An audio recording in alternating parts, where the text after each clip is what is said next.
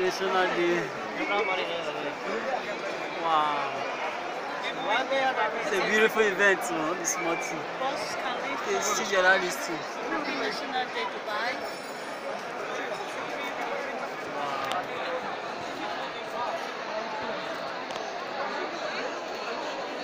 The tallest building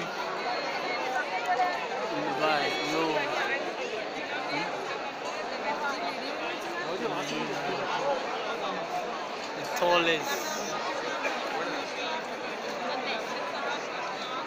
I tell you that,